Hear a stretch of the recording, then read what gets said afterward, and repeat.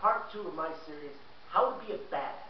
Today, we're going to go over how to look like a badass.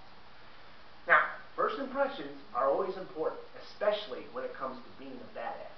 You want a wardrobe that says, hey, don't mess with that guy. You want some clothes that say, that's the last guy you want to be messing around with. So, we'll start with my shirt. Now, as you can see, I am wearing my fancy fanciest going out clothes. But these, this shirt, would not play too well in New York City with the street punks. They'll take one look at it and say, hey, look at that chump from Podunk. Let's go get him. So, we're going to ditch the shirt.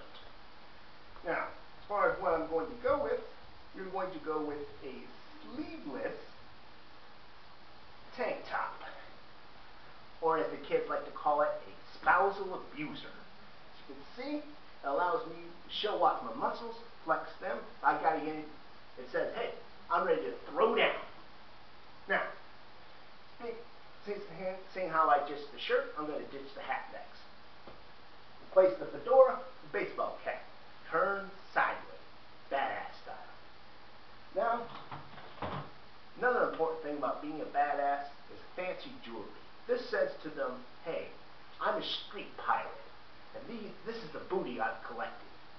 So, you're going to put on some flashy jewelry, or as the kids like to call it, bling bling. Moving on, pants. You can see I've gone with a nice pair of camouflage pants. This sends out the message that I'm a soldier, or as they like to say it, soldier. Now, question with the pants. What kind of belts are you going to go with? The answer is no belts at all. To take that off, and let those pants slap down. The reason for this, for this is badasses, they're not afraid to show their shortcomings, shall we say. And some of you would like say, well, are you running your pants are slapped down, you're going to fall. That's the thing. Badasses, they don't run away. Also, you want to hike up your underwear. Now, I don't understand this myself, why you would do this, but hey, that's what they do in the streets. Moving on, sunglasses. This shows you're not afraid of anything, to wear, like wearing your sunglasses at night. And this way, they can't always look you in the eye. Now, another important thing about being a badass is having some ink or tattoos. Now, I'm not saying you should go out and tattoo yourself up just to look tough. You can fake it, and that's what we're going to do today. So, first tat, I'm going to go with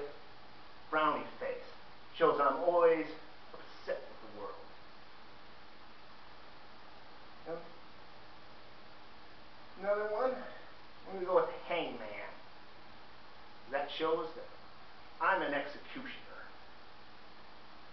And Thug, well, that's out of ink. Check out my next video. I'll have more ink, so you'll see what my tats look like. Speaking of what's the next video coming up, it's going to be the walk and talk of how to be a badass. Check it out.